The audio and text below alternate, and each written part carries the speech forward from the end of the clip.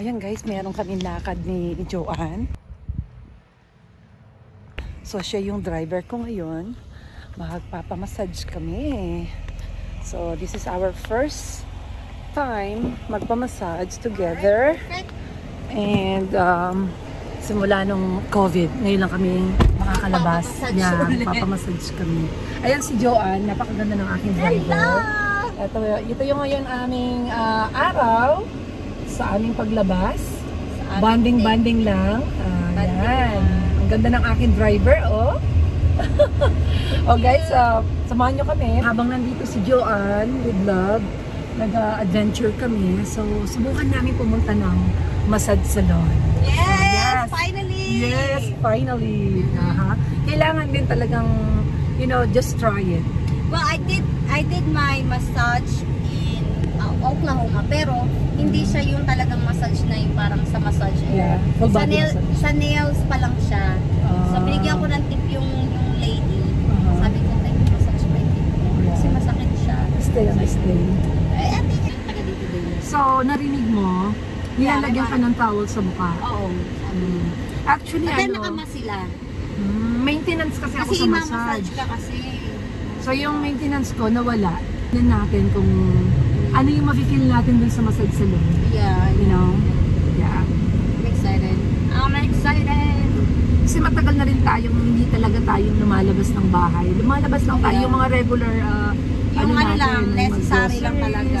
Check up, ganyan, work. Grocery. Pero hindi katulad dati, Wait, ano, um, talagang maintenance ako twice a month. Okay, so much. Yeah, Yeah, you para sa circulation ng blood natin, di Yeah, ba? Pag may lakad kami ni Joanne with blood, of course, siya talaga yung driver ko.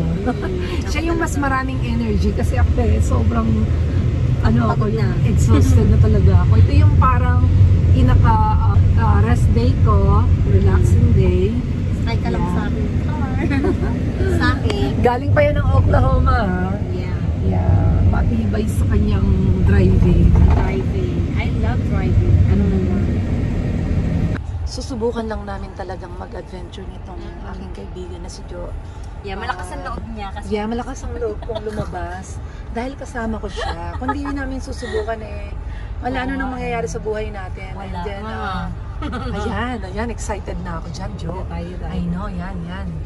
O, di ba? Ayan, guys. Subukan lang namin kung anong pakiramdam ng nasa loob niyan. Our ganda. Massage salon.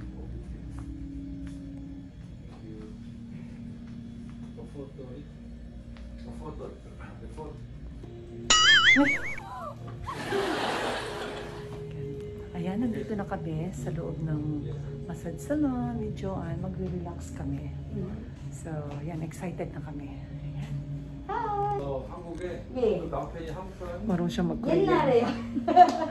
어, Korean. 예, 한국 사람이었어요. 예. 그 지금은 지금은 스웨덴 스웨덴 사람이요. 어, 남편이 예. 어, Marunong mag-Korean si Joanne. Nakikipag-usap ng Korean. 애들 보냈어. 애들. 칩이요, 뭐. 칩. 아니, 칩 말고요. 친구 칩하고 여기 놀러 왔는데요. 여기 킬이네. Talagang Korean 우리 siya. 오클라호마에서 살아요. 아, 올라오네. 예, 지금. Nagko-Korean si Joanne. Grabe, nasa States, Korean pa rin yung salita ni Joanne. Hanggok mo choco maroyo. 조금 알아요? Ne. Ayan guys, natapos na rin ang aming massage ni Jo. So Jo, kumusta yung pakiramdam mo? I feel so good. Aha. Magaling nung nag-massage siya. Yeah, yung Yeah. lalaki. So, sabi niya, magaling daw yung nagmassage sa kanya. About Yung you? akin din, yes, I feel good. Kasi, tinouch niya yung lower back ko, tsaka yung, yung sa, yeah, yung muscle natin sa back. Yeah, kasi last Friday, last Sunday, I had massage home service. So, ang minasad sa akin, ang nagmamasad sa akin yung shoulder, talagang nag-work siya doon. At saka Okay, yung yeah. legs ko. But this time, yung pagpunta ko dito, meant to be talaga, ang minasage niya sa akin yung lower back naman. Lower back. Oo, Yeah, nag-focus yeah. Yeah, so ang sarap, feels so good and na-refresh ako. So I still need to do it one more time. Yeah, Kasi yeah. it's been a while na I don't have massage. Yeah. Yeah, so yeah. So let's go and we will try the, let's have some snacks. ano yung tawag doon? BTS meal from Yes, from McDonald's. McDonald's. So, merong McDonald's dito uh, Yeah. sa Stansluder. We're gonna go there and then from there, we're gonna go back And- home and try the yeah. meal. Let's relax at home. Okay, let's go guys. Let's go. Yes. Yan, rush hour na dito at 4.13. Nagsisilabasan na yung mga military. So, nandito pa rin kami. Yeah. Alright, um, I'll see you guys on my next vlog. Don't forget to subscribe, like, and, And share. share. Bye for now.